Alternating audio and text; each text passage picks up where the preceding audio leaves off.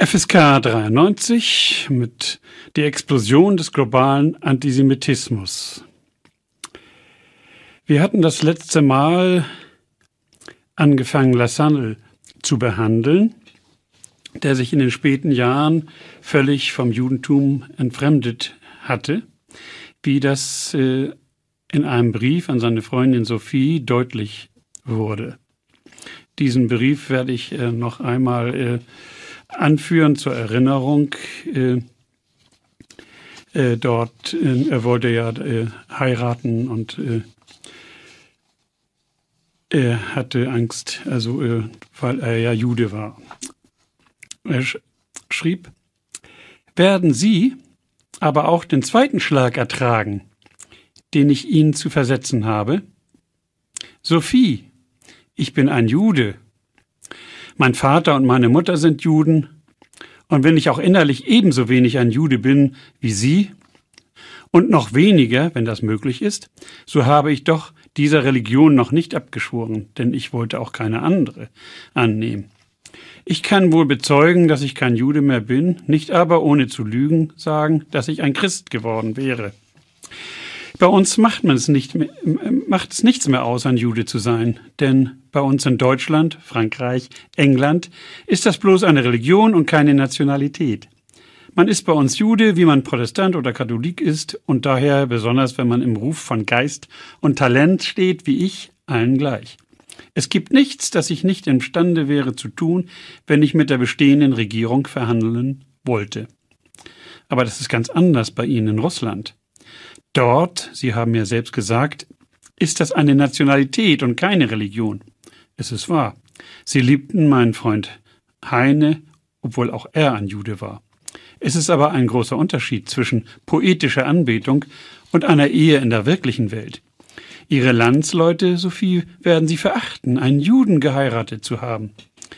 Sie, Fürstensprössling, einen Mann heiraten, der wahrlich, wenn Abstammung einen Anspruch auf Stolz gebe, stolzer sein könnte als ihr alle, da er einem älteren Geschlecht entstammt als alle eure Prinzen und Adligen einiger weniger Jahrhunderte, dem Stamm des ersten großen zivilisatorischen Volkes, das in der Geschichte auftrat, den alten Königen Syriens. Ich könnte ihnen zwar das Opfer bringen und Christ werden, obgleich dies nach unseren Gesetzen nicht nötig ist, und es Christen und Juden freisteht, einander zu ehelichen. Wenn dies eine unerlässliche Bedingung wäre, ich täte es vielleicht. Aber es würde mir schwerfallen, Sophie, und ich will Ihnen sagen, warum. Ich liebe die Juden gar nicht. Ich hasse sie sogar ganz allgemein. Ich sehe in ihnen nichts als die äußerst entarteten Söhne einer großen, längst vergangenen Zeit.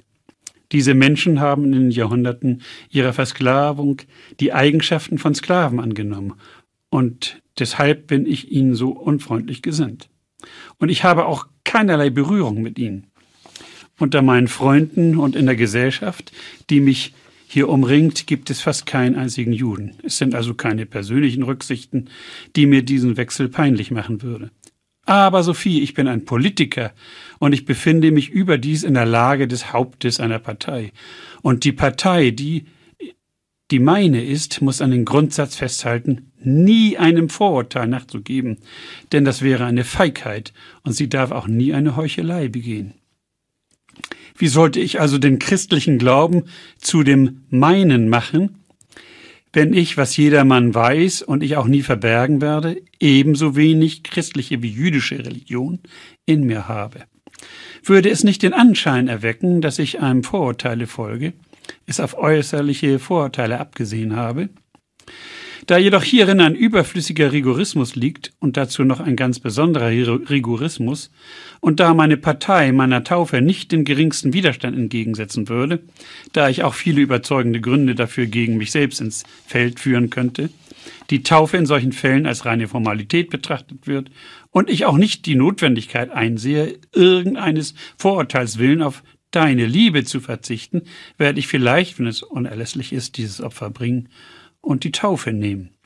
Das heißt, ich werde es tun, wenn Ihr Vater oder Ihre Mutter unbedingt darauf bestehen. Ich werde es aber auf keinen Fall tun, wenn Sie selbst es verlangen sollten. Denn meine Frau darf keine Vorurteile haben. Der Brief war im Original in einer Sprache verfasst, die Lassalle nicht gut beherrschte, Französisch, und in einer Ausnahmesituation der Liebesqual und dazu noch eilig verfasst. Man könnte auch annehmen, dass er nicht ganz aufrichtig geschrieben hat, aber die besten Lassalle-Kenner wie Onken oder Bernstein halten das äh, darin mitgeteilte für authentisch. Ersterer machte den Vorschlag, den Brief allen Werken voranzuschicken. Der Brief ist ein Schlüssel für die Stellung seiner Gedanken zum Judentum. Er betrachtet sich nicht mehr als Jude, weil im Wesen, im Osten wäre das anders, Jude zu sein nur eine Religionszugehörigkeit bedeutet. Er leugnet sogar, dass in Deutschland Juden schlechter behandelt würden als Nichtjuden und er gibt zu, dass er die Juden hasse und so ist sein Antisemitismus schwerlich abzuweisen. In, seiner, in seinen Schriften äußerte er sich nie systematisch zur Judenfrage, also der Judenemanzipation. Die späteren Äußerungen haben mehr fragmentarischen Charakter. Er behauptet darin, dass ähnlich den Indern und Chinesen die Juden sich niemals die Subjektivität des Geistes, das heißt den Freiheitsbegriff, wie Hegel ihn fasste, zu eigen gemacht hätte, obwohl sie bereits den Übergang zum abendländischen Geist darstellten so im, das System der erworbenen Rech Rechte 1861. Ludwig der 14., so Lassalle, hätten sich vor dem Juden äh, Samuel Berner erniedrigt, um eine Anleihe zu bekommen. Julian Schmidt, ein Histori äh, Literaturhistoriker, war vor, Hegels Gedanken über das Judentum für Hegels Charakteristik des Christentums auszugeben und formuliert so eine Art antisemitisches Ticket. Oh, Sie Jude, Jude. Sollten Sie vielleicht von Bankiers bestochen sein, um durch den weitgreifenden Einfluss Ihrer Literaturgeschichte unser Publikum unmerklich zu judaisieren? Das hat übrigens das äh, Vorwurf des Judaisierens äh, hat eine ganz alte Tradition. Das gab es schon im alten Ägypten. Eine Bemerkung über orthodoxe Juden Sie suchten das mosaische Zinsverbot zu umgehen, indem sie anstelle von Zins einen Anteil von Gewinnen sich ausbedingten, findet sich ebenso bei Lassalle wie eine Bemerkung im vertraulichen Gespräch. Dort heißt es, es gibt zwei Klassen von Menschen, die ich nicht leiden kann, die Literaten und die Juden. Und leider gehöre ich zu beiden. Das wird von Bernhard Becker überliefert. Und warum trat er nicht zum Christentum über? Seine Antwort, weil er sich so wenig als Christ wie als Jude fühle, wäre das scheinheilig gewesen. In dem Brief an Sophie hatte er das ja angeboten, wenn die Eltern es verlangten. Bei seiner letzten Liebesaffäre fragte er selbst, ob die Frau, Helene von Dönningens, einen Religionswechsel wünsche, war aber froh, dass diese das verneinte. Es wäre ihm unangenehm gewesen und er würde sich herabgesetzt fühlen. Möglicherweise hätte er sich taufen lassen, wenn sein Werben um Helene von Erfolg gekrönt gewesen wäre. Er hatte es, um die Heirat zu beschleunigen, angeboten, aber sie erwies sich dann in Augen Lassalles als verworfene Dirne, weil sie ihn abwies und Janko von Rakowitza ehelichte. Diesen forderte er dann zum Duell heraus nicht? und hatte das Pech, tödlich verwundet zu werden. Die Grabrede des Rabbiners, Dr. Juhl, sprach aus, dass er mit dem Schma Israel, also höre Israel, im Herzen gestorben sei. Was aber eine Verlegenheitswendung war, da Lassalle jede Bindung an jüdisches Volk und Religion verloren hatte. Die Juden Osteuropas betrachtete er aber bis zuletzt als nationale Gruppe. Ein Jude zu sein bedeutete eine Nationalität und nicht eine Religion. Dies systematisch zum Thema zu machen, hatte er kein Interesse. Das war Thema seines Mitarbeiters, Moses Hess, den wir nun behandeln werden. Hess, also Moses Hess, den Arnold Ruge Kommunisten Rabbi Moses nannte, gilt als der erste Kommunist in Deutschland. Als er sich Kommunist nannte, lehnten Marx und Engels die Autoren des Kommunistischen Manifest, noch die Bezeichnung Kommunismus für sich ab. Was Lassalle verweigerte, findet man bei ihm. Er war auch ein Vorläufer des modernen Zionismus, sah zwischen Zionismus und Sozialismus nicht nur keinen Gegensatz, sondern suchte sie zu vereinigen. Sechs Jahre vor Marx wurde er am 21. Januar 1812 in Bonn in der Judengasse geboren. Sein Geburtshaus befand sich in unmittelbarer Nachbarschaft der Synagoge. Die Geburtsurkunde zeugt von den Umständen der Zeit. Bonn gehörte zum linksrheinischen Departement de Rhin-et-Moselle. Die französische Verwaltung war seit 1792 von Zivilbeamten geführt und enthält keinen Hinweis auf die Religionszugehörigkeit der Familie. Der Bonner Kaufmann David Hess, späterer Zuckerfabrikant, war der Vater. Die Mutter Jeannette Flerschmann oder eingedeutscht Helene Flöstheim. Moses Hess war der Erstgeborene von fünf Kindern. 1816 zog die Familie nach Köln, wo der Vater ein Kolonialwarengeschäft aufbaute. 1798 hatte sich erstmals seit dem 15. Jahrhundert wieder ein Jude in Köln angesiedelt, so dass es kein jüdisches Umfeld gab, weswegen Moses Hess in Bonn blieb, unter Obhut seines Großvaters, einem sehr, sehr frommen Juden. Die jüdische Gemeinde in Bonn stellte vier Prozent der Bevölkerung Bonns. Die Umgangssprache war Jiddisch, so dass Moses Hess später privat Deutschstunden nahm. Der Großvater gehörte dem Vorstand der Bonner jüdischen Gemeinde an. In seiner späteren Schrift äh, Rom und Jerusalem hatte Moses Hess nur freundliche Worte für seinen Großvater übrig, dass er bis nach Mitternacht den Talmud mit seinen Kommentaren las. Er las mit seinen Enkeln, die bis Mitternacht aufbleiben mussten oder durften, die Erzählung von der Vertreibung der Juden aus Jerusalem, so gerührt, dass sein Bart von Tränen benetzt war und die Kinder damit ansteckte. In einem frühen Tagebucheintrag liest sich das weniger positiv. Welche Bildung habe ich genossen? In der Judengasse geboren und erzogen, bis in mein 15. Jahr über den Talmud schwarz und blau geschlagen. Unmenschen für Lehrer, schlechte Kameraden für Gesellschafter, zu geheimen Sünden verführt, mit geschwächtem Körper und rohem Geiste. So trat ich mein Jünglingsalter an. Nach der Geburt seiner jüngsten Schwester im Jahre 1825 verstarb die Mutter und auf eigenen Wunsch zog Moses Hess zum Vater nach Köln. Die religiöse Erziehung in Bonn stillte aber seinen Wissensdurst nicht und in Tagebucheinträgen beschwert er sich über seine mangelnde schulische Vorbildung und sein Widerstreben gegen die allein religiös ausgerichtete Erziehung. Er nahm privaten Sprachunterricht und nahm Interesse am Geschäft des Vaters, welcher aber dies nicht förderte, sondern ihn zur Lektüre rein religiöser Schriften drängte. 16 Jahre alt wurde das Verhältnis zum Vater konfliktträchtig und er entfremdete sich äh, zunehmend. Hess suchte Tagebuchnotizen zufolge nach handfesten Erfahrungen und den Umgang mit Menschen, vor allem mit der jüdischen Jugend Kölns, die aber vor allem die Wirts Häuser aufsuchte. Er beschäftigt sich weniger mit Büchern und am wenigsten mit Philosophie. Aber das Leben in Wirtshäusern reizte ihn auch nicht lange, so dass er sich wieder auf die Bücher stürzte. Erst Romane und volkstümliche Literatur, um dann doch Zugang zur Philosophie zu finden. 1829 schrieb er an seinen Cousin Leopold Zunz und schickte diesem ein fiktives Gespräch zwischen einem Sophisten und einem Philosophen das um philosophische Fragen sich drehte. Mit seinem Cousin, mit dem er seit früher Kindheit befreundet war, entdeckte der Pubertierende das Reich der weltlichen Literatur. Mit 18 Jahren zitierte er im Briefwechsel solche Philosophen wie Jean-Jacques Rousseau, den aufklärerischen Philosophen Paul Henri de Olbach und Moses Mendelssohn und äußerte sich auch schon zu politischen Themen. Er sch äh, schrieb, nachdem ich weiß nicht mehr, wie viel gelesen und erfahren habe, gab es eine ungeheure Revolution in meinem Innern.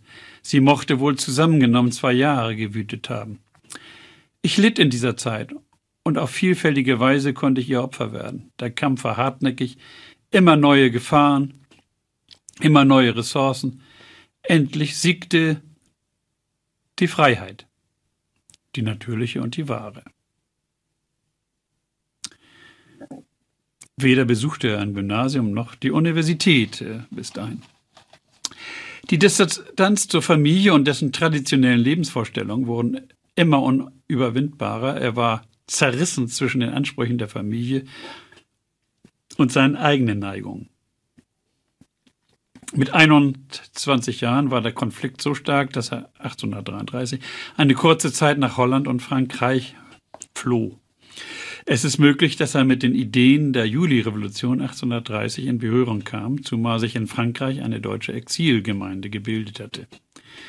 Aber auf Vermittlung von Verwandten wurde der Konflikt mit dem Vater geschlichtet und er arbeitete dann wieder in Köln zurückkehrt im väterlichen Geschäft, obwohl die materielle Abhängigkeit vom Vater ihm zunehmend eine Last wurde.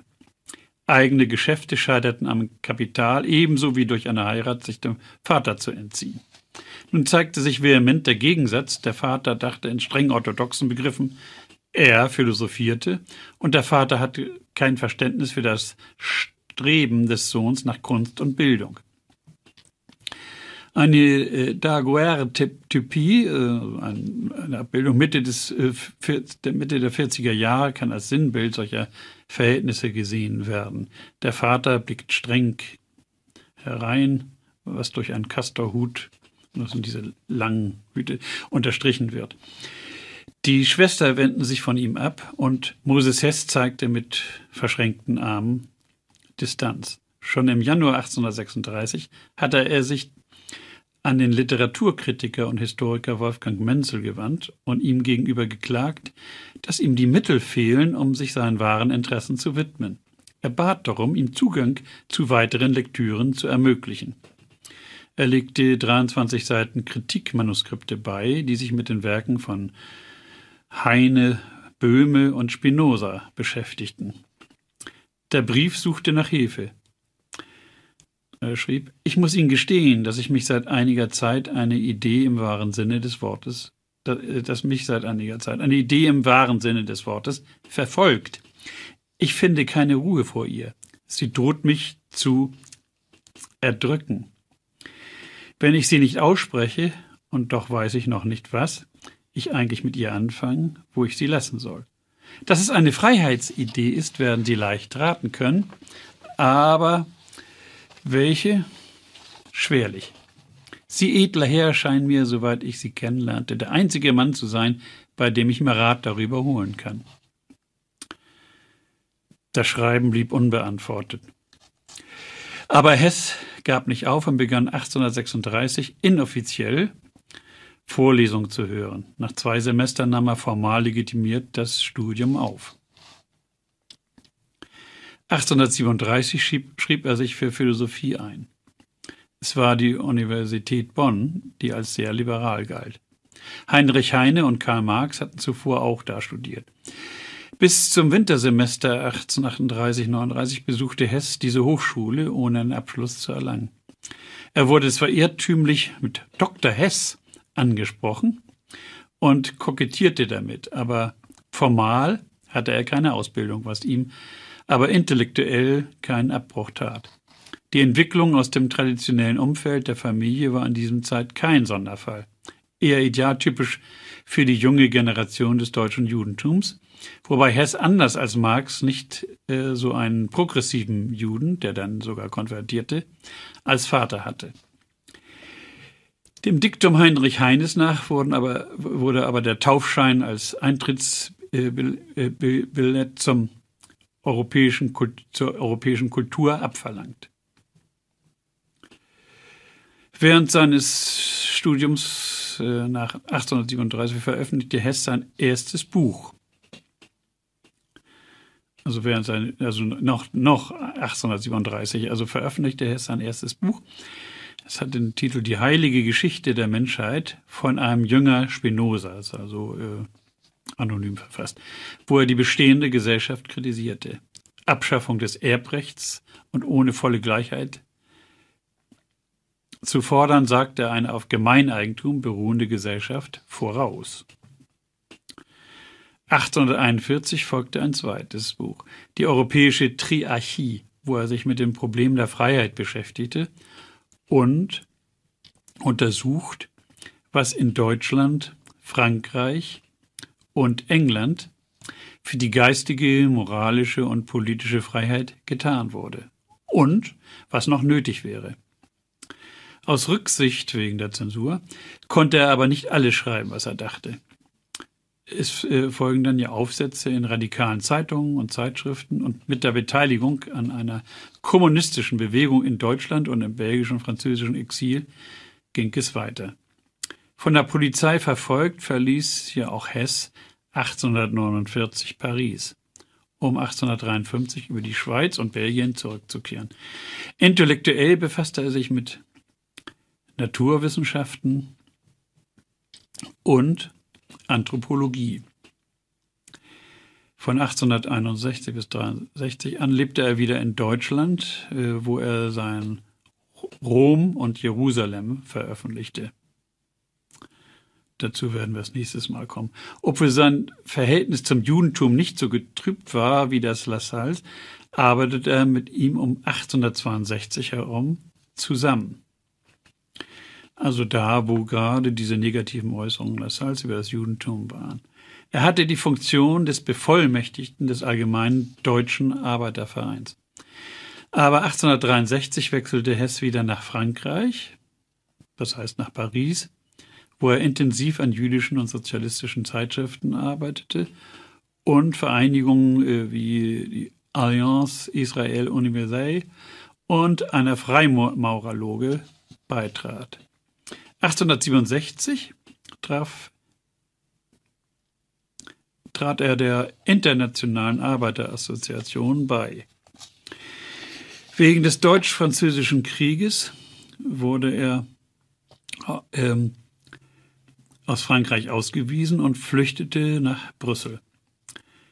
Ende 1871 kehrte er nach Frankreich zurück, wo er an seiner dynamischen Stofflehre arbeitete, die erst nach seinem Tode veröffentlicht wurde. Also es ist eine naturwissenschaftliche Schrift. Er starb dann an einer Blutkrankheit am 6. April 1875 und wurde im Familiengrab zu Deutz am Rhein beigesetzt. Das geschah auch auf seinen eigenen Wunsch. Soweit zu den biografischen Daten, die schon einiges von seinem Charakter verständlich machen. Er vertrat, was heute wohl noch verbreiteter ist als damals, einen philosophischen Sozialismus, bei dem der Kommunismus eine ethische Frage, nicht vor allem äh, eine Klassenfrage oder ökonomische Frage war. Die schon erwähnte Spinoza-Arbeit die heilige Geschichte der Menschheit, die er mit 25 schrieb und die 1837, also anonym von einem Jünger Spinozas, erschien, wurde zu einem Zeitpunkt veröffentlicht, als in England das Arbeiterprogramm der Chartisten erschien. Hess formulierte das im Sinne eines ethischen Sozialismus. In Deutschland, wo seit 1843 keine progressive, wie man das damals noch sagen konnte, politische Betätigung möglich war, erschien also 1837 das erste sozialistische Werk in Deutschland.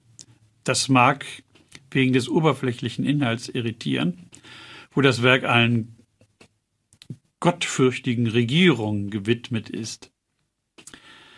Aber für Spinoza war ja Gott zugleich in der Welt und die Freiheit war in Hess Arbeit im Vordergrund, was nicht so deutlich erscheint, weil der ursprüngliche Titel Verkündung der Freiheit im Namen des Heiligen Geistes, das verschleiert. Bei allen Konflikten mit seinem orthodox-jüdischen Vater hat Hess nie die Brücken zur Religion abgebrochen und das Buch war ein Versuch, der jüdischen Religion eine sozialistische Wendung zu geben, was noch im späteren zionistischen Werk fortgesetzt wird. Es ist eine Verknüpfung der Heilsgeschichte der Menschheit mit der jüdischen Geschichte. Was bislang nur dem Christentum oder der Antike zugesprochen wurde, wurde nun auch dem Judentum zugesprochen und war in diesem Sinne schon eine Revolution. Manche Biografen sprechen von einer messianischen Stimmung beim jungen Hess, die vom Gedanken einer verweltlichten Messiaszeit bei Spinoza motiviert ist. Die Auseinandersetzung mit einem messianischen Element steht so am Anfang der revolutionären Bewegung in Deutschland. Etwas, was dann bei Walter Benjamin und Schollem erst wieder diskutiert werden wird. Hessens Konzeption von Erlösung schließt ein Entwicklungsmoment ein, während die Gotteskonzeption Spinozas dies ausschließt. Obwohl Hess damals noch keine Hegelkenntnisse hatte, sieht er die Entwicklung als einen dynamischen Prozess, der von Notwendigkeit getrieben ist. Damit geht er auch schon über Hegel hinaus, bevor er ihn kannte, der im Prinzip, wenn auch nicht empirisch, die Entwicklung für abgeschlossen hielt. Weltgeschichte wird als an Erwartung an die Zukunft der Heilsgeschichte verknüpft, in Erwartung ein weiterer menschliche Emanzipation. So bei Hess. Äh, bei Hegel ja eben gerade nicht. Schlomo Nachmann, den ich schon aus seiner Lassalle-Biografie zitierte, schrieb in seiner Hess-Biografie, der hat sich hier so irgendwie auf die Gebiete, die ich gerade behandelt, spezialisiert. Emanzipation und Messianismus, Leben und Werk von Moses Hess. Das äh, erschien in Frankfurt und New York, also 1982. Also schrieb dort, dass sein früher Kommunismus primär eine vorgestellte neue Welt und Gesellschaftsordnung und die Leiden des Proletariats waren zunächst einmal ein Beweis für die Verkehrtheit der Welt und rein abstrakt erfasst.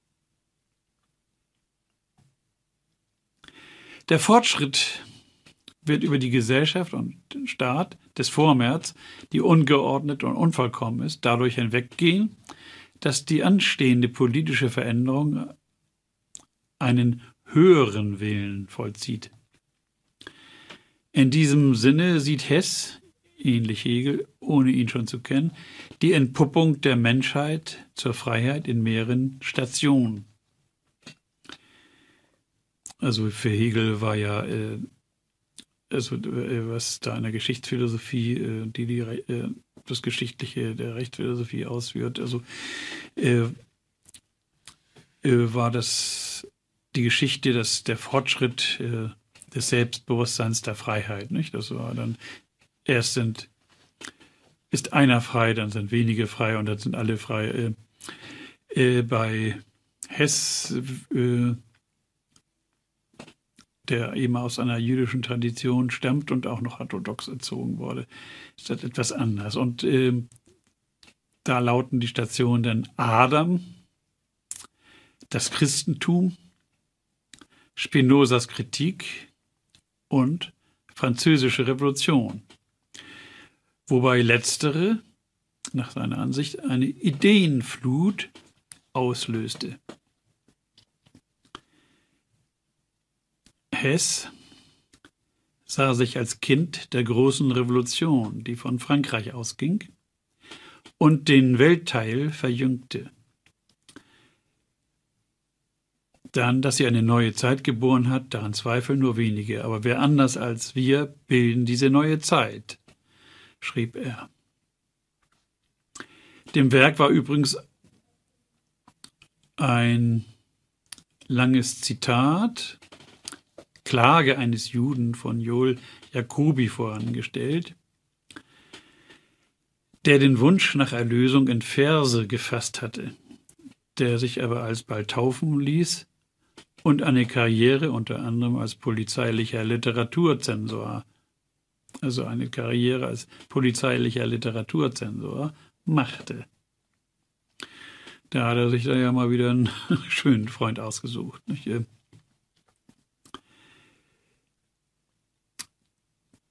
Das waren also die zwei Pole von Biografien von jungen intellektuellen Juden in der Zeit. Entweder extreme Affirmation oder Radikalopposition. Moses Hess mischte biblische Erzählung mit weltlichen Motiven. Auch Rousseauistisches äh, findet sich dort, wie äh, zum Beispiel seine Schilderung der Urgesellschaft. Dazu schreibt er, im Ganzen lebten die ersten Menschen einig, denn sie waren alle noch frei und gleich.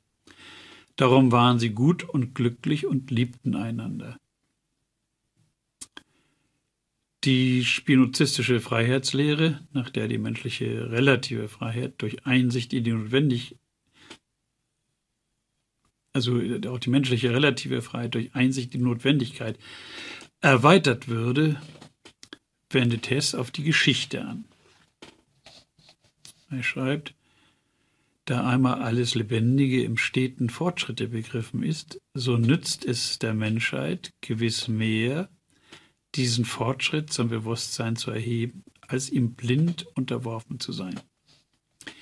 Je mehr sich die Menschen ihres Strebens bewusst werden, desto humaner werden ihre Taten. Sie handeln weniger bestialisch blind, je mehr sie an Erkenntnis Gottes annehmen. Man sieht, dass er trotz starker idealistischer und religiöser Züge auf das Diesseits orientiert ist, wobei die jüdische Auffassung von Erlösung, dem ja selbst schon entgegengekommen und im, und im Tykum, Tikkun Olam, also das heißt so wie verbessere die Welt oder repariere die Welt, auch traditionell schon ausgesprochen wurde. Den Gedanken an soziale Gleichheit hatte er vorher schon bezogen und auf die Kritik der Geldaristokratie und das Erbrecht, aber mehr utopisch als, aktuell, äh, äh, als aktueller Konflikt, da die Folgen der Restauration 1815 noch zu spüren waren.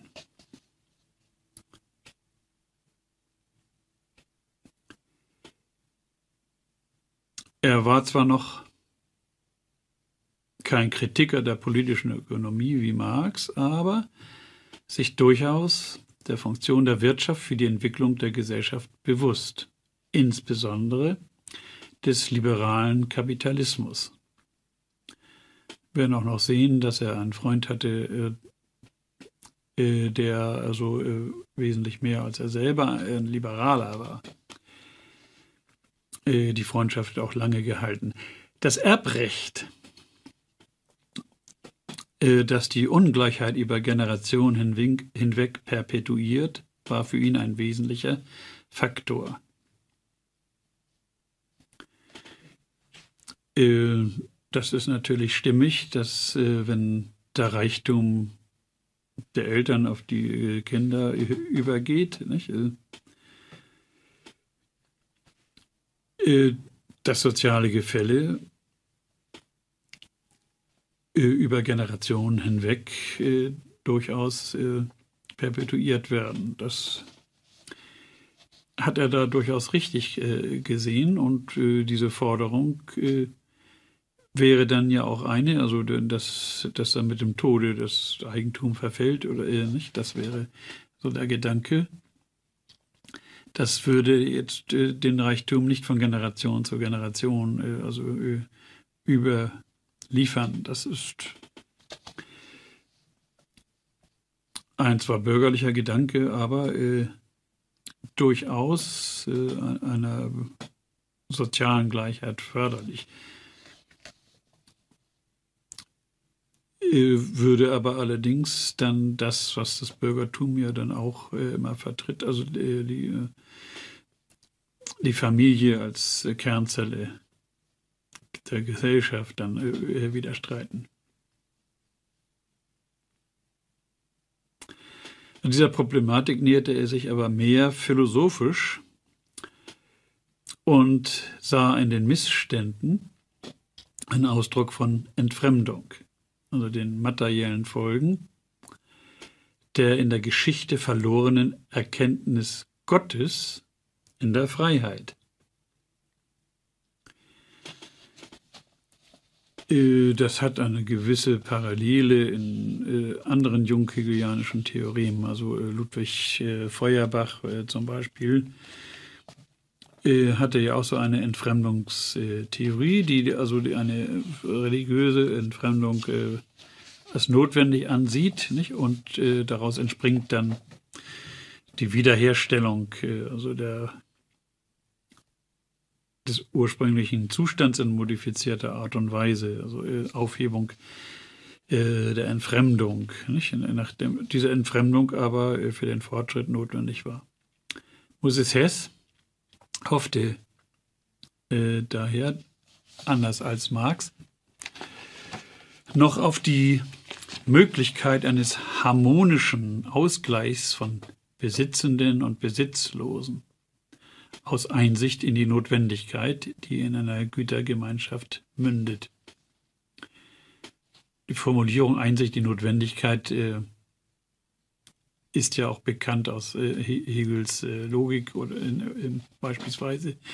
Äh, Friedrich Engels hat diese Formulierung auch immer gern äh, genommen, aber es ist äh, eine Formulierung, die von Spinoza ursprünglich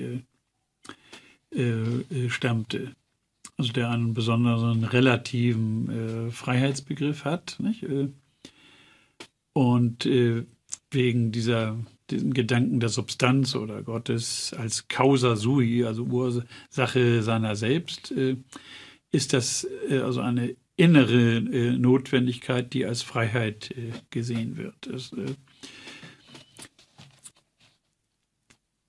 bedeutet also nicht einfach nur den Zwang zu übernehmen oder so etwas. Das ist damit nicht gemeint. Es gibt ja eine Reihe von Marxisten, die sich äh, noch im 20. und 21. Jahrhundert auf Spinoza beziehen. Nicht? Äh, ethisch, staatstheoretisch und so weiter. diese Gedanken, also eines harmonischen Ausgleichs, führt aber zu einer Gütergemeinschaft. Äh, dass das dann so harmonisch nicht zugehen äh, würde. Das ist ja das, was Marx und Engels dann immer wieder äh, zeigten. Das ist allerdings noch die Einstellung des späteren Kommunisten, aber schon eine Vorwegnahme dessen, was sich et etwa Marx und Engels dann dachten. Der Übergang vom Liberalismus zum Kommunismus wird hier also vorbereitet. Aber Hess war nicht nur in dieser Hinsicht radikal, nämlich in der Kritik und Angriff auf die bürgerliche Familie und die Ehe. In der also heiligen Geschichte der Menschheit äh, finden wir jetzt auch Folgendes, was man so an eine Antizipation äh, des Feminismus möglicherweise denken kann. Er schreibt, also es ist eine utopische Vorstellung, nicht, wie äh, er sich das vorstellt. Das Weib wird ebenso gut wie der Mann einer humanen Bindung sich erfreuen. Und er, Mann und das Weib werden sich vereinigen durch das Band der freien Liebe, lassen wir es aus. Der Ehezwang, wie er äh, bis jetzt bestanden, wird im heiligen Reiche verschwinden. Der eheliche Bund wird keine Sklavenkette mehr sein. An die Stelle einer erzwungenen Ergebenheit wird eine freiwillige Hingebung treten. Die Liebenden werden sich einigen können, ohne von der Willkür hochmütiger oder geiziger Eltern und Vormünder am höchsten und edelsten Lebensgenosse verhindert zu werden.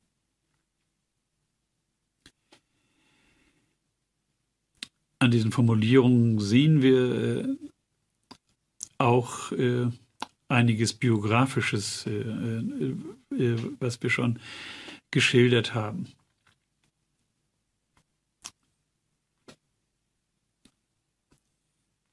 Also seine Theorien sind dann auch durchaus äh, innerlich verarbeitet und äh, durchaus äh, etwas, womit er sich äh, nicht bloß äußerlich identifiziert. Äh, sie entspringt auch äh, einem konkreten Leiden an der Gesellschaft.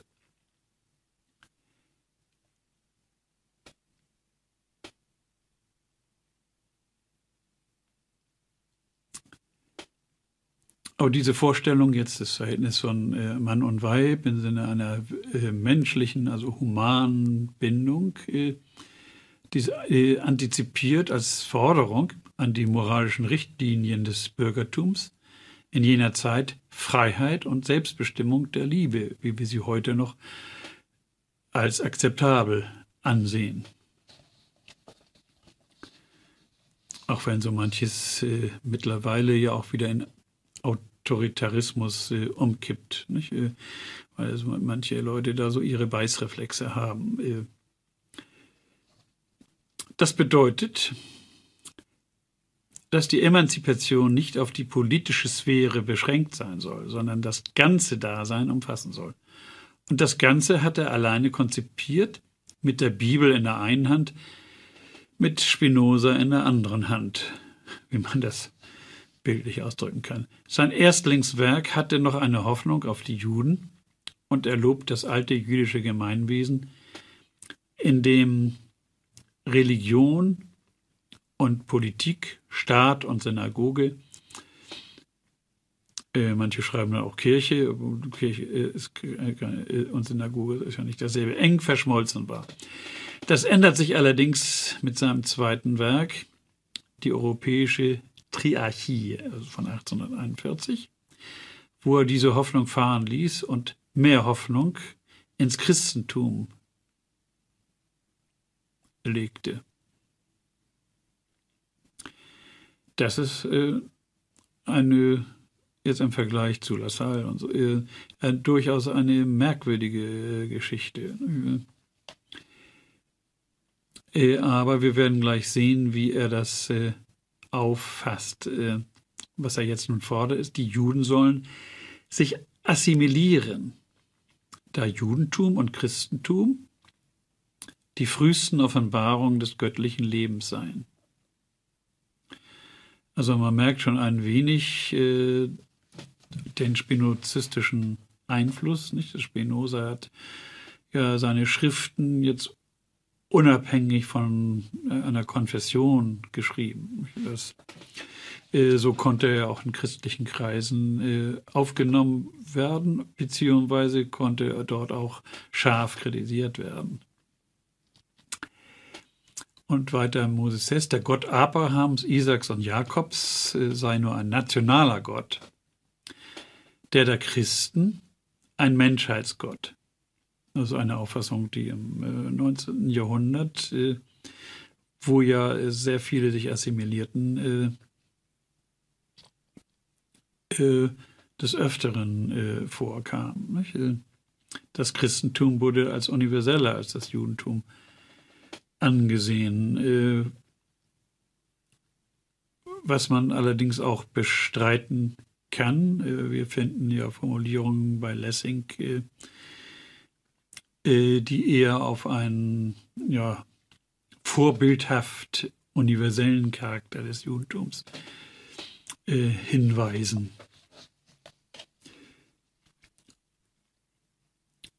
Äh, aber äh, Hess hatte also diese Auffassung aus der Zeit übernommen. Also beide, also der nationale Gott und der Menschheitsgott, seien Grundprinzipien der Geschichtsbewegung. Also der hat äh, der eine bestimmte Geschichtsphilosophie. Juden mussten da sein als Stachel im Leibe der westlichen Welt. Wie der Osten einer chinesischen Mauer bedurfte, um in seinem unbeweglichen Dasein nicht gestört zu werden. So sind die Juden das Ferment und das Treibmittel äh, der westlichen Menschheit, von Anfang an dazu berufen, ihr den Typus der Bewegung aufzudrücken. Also so wie, der, äh, wie äh, Moses Hess.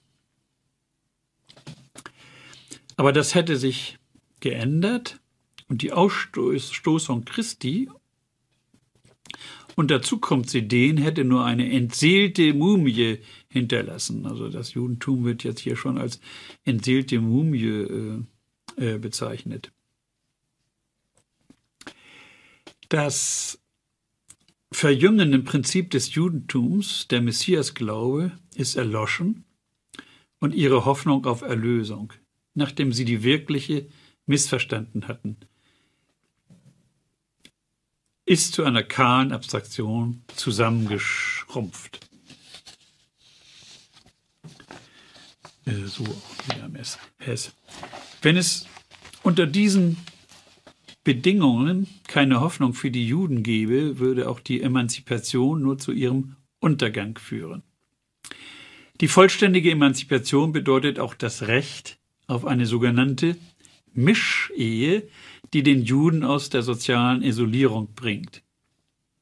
Wir werden noch sehen, dass Moses Hess hier mit sich uneins ist und noch die Gefahren vorwegnimmt, die in der Emanzipation steckt, die er dann in seinem späteren Werk bereits wahrgenommen hat. Jakob Katz hat die dialektische Entwicklung in äh, dem Buch zur Assimilation und Emanzipation der Juden, in dem Aufsatz Juden und Judentum im 19. Jahrhundert, registriert. Zitiere Jakob Katz. Die Möglichkeit der dialektischen Entwicklung, die von bewusster Assimilation zum jüdischen Nationalismus führte, wurde von einer der führenden Gestalten des Sozialismus, Moses Hess, schon um diese Zeit verwirklicht. In seiner im Jahre 1862 erschienenen Schrift Rom und Jerusalem bekannte sich Hess überraschenderweise zum Ideal der Neubelebung der jüdischen Nation. Er schloss sich einem von traditionellen Kreisen gegründeten Verein zum Zwecke der Neubesiedlung Palästinas an. In den vorangegangenen Jahrzehnten waren solche Versuche kaum beachtet und wenn belächelt oder bitter bekämpft worden. Solange der Kampf um die Emanzipation währte, galt es jeden Ausdruck jüdisch-nationaler Existenz, weil der Gleichberechtigung abträglich, zu verbannen. Mit dem Abschluss des Emanzipationskampfes im Westen schien die Zeit für die Synthese gekommen zu sein. Ab 1960 wirkten bereits Vereine, die sich der Kolonisierung Palästinas zum Ziel setzen. Im Jahre 1870 beschloss die Leitung der Allianz in Paris die Gründung einer landwirtschaftlichen Schule in Palästina. Diese Vorläufer der nationalen Bewegung hätten jedoch kaum nennenswerte Leistung vollbringen können, wenn nicht von den 80er Jahren an die sozialistische Reaktion des Antisemitismus eingesetzt hätte. Moses vollzog sozusagen in sich diese Dialektik. Das Scheitern der Emanzipation nimmt er ein Stück weit schon vorweg, als er an ihr gegen jüdische Nationalität noch festhielt. Schreibt, was würde Ihnen die Emanzipation helfen, wenn Sie im Leben nach wie vor jener langsamen Tortur des Hasses und der Verachtung ausgesetzt blieben, welche eine notwendige Folge jener schroffen Stellung ist und solange als diese dauern wird. Und dann folgert er, wie später Herzl, dass der Judenhass nur mit der jüdischen Gemeinschaft oder wörtlich der jüdischen Nationalität verschwinden werde. Als Alternative hat er, äh, hat er das noch oder schon im Hinterkopf. Und wenn er sich fragt, was kann denn der gebildete Jude tun, um aus seiner Nationalität herauszukommen, ja, etwas, etwas sich taufen zu lassen, so wäre das keine Lösung im Sinne der Emanzipation des Geistes. Die andere, schon erwähnte Möglichkeit war die Mischehe.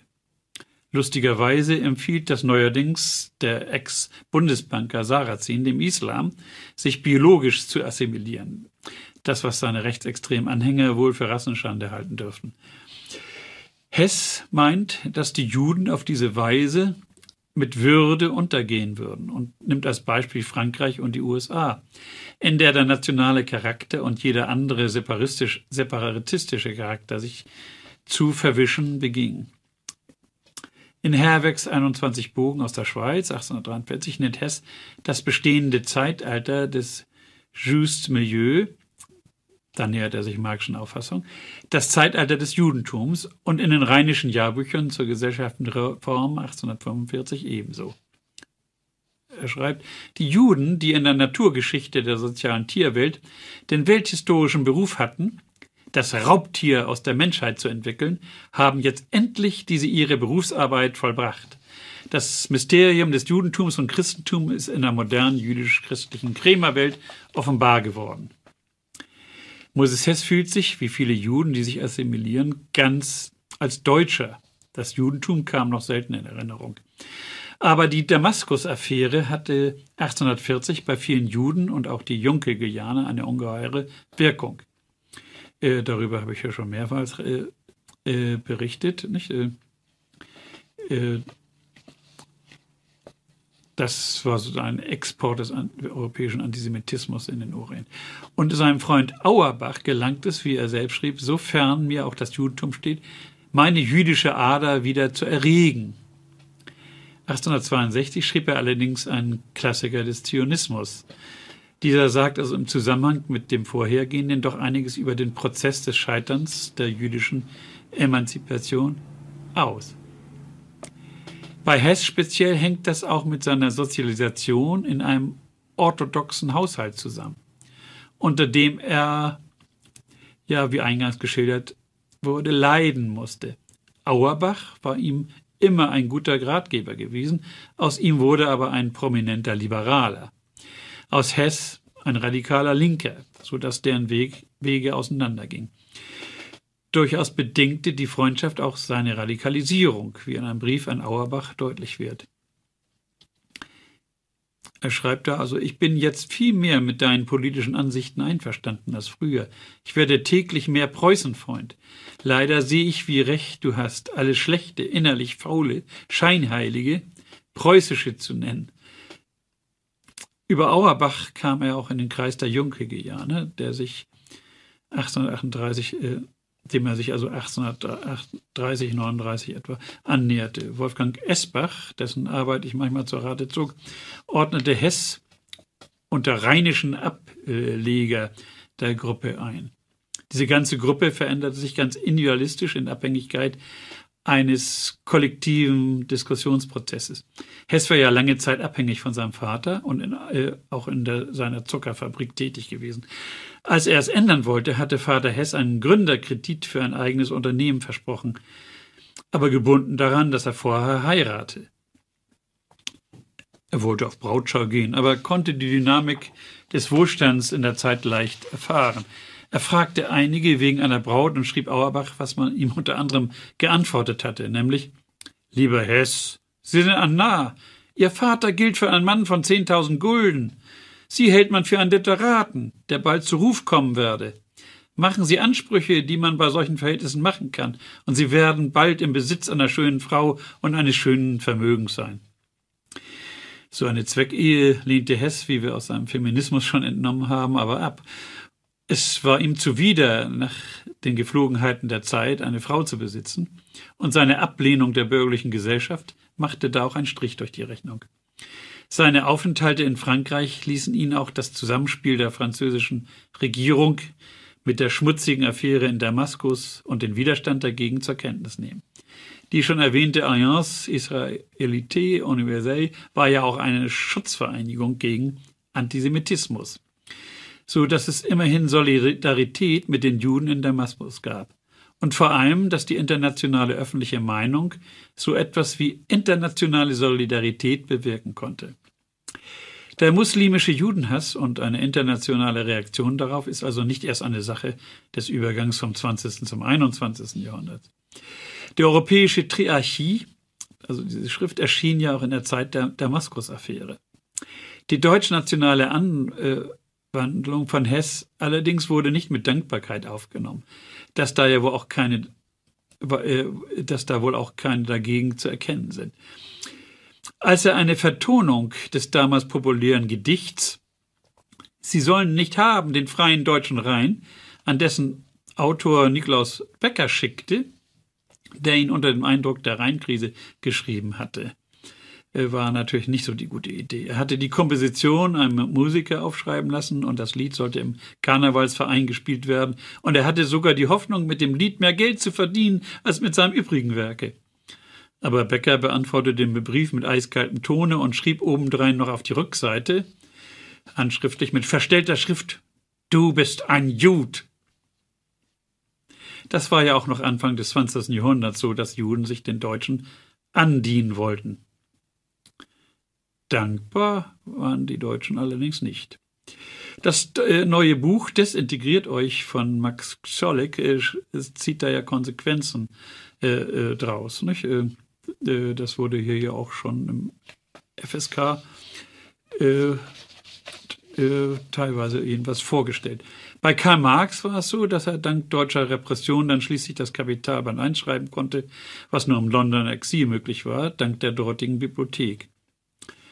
Und er war ja immer der Meinung, die Deutschen müssten zu Menschen emanzipiert werden. Hess wurde von seinen Anwandlungen auch durch Becker und solchen Reaktionen kuriert. Das nächste Mal werden wir den Schritt zu Rom und Jerusalem weiter thematisieren und auch die Beziehung zu Marx und Lassalle äh, ausführlicher äh, besprechen. Meine Lektüreempfehlungen dazu sind übrigens einmal Jan Gerber, Karl Marx in Paris, äh, wurde hier auch schon mal besprochen. Und äh, Volker Weiß, also Moses Hess, rheinischer Jude, Revolutionär, früher Zionist. Äh, von dem verdanke ich auch so einige äh, Ideen für, für das äh, Thema. Und dann bis zum nächsten Mal.